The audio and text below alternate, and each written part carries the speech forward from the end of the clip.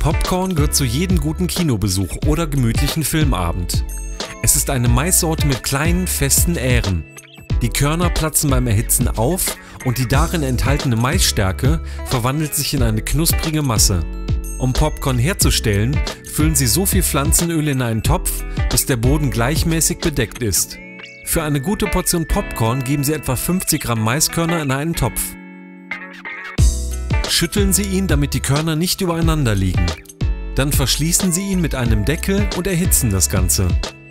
Warten Sie, bis die Maiskörner anfangen aufzuplatzen. Wenn die Knallgeräusche nachlassen, ist das Popcorn fertig.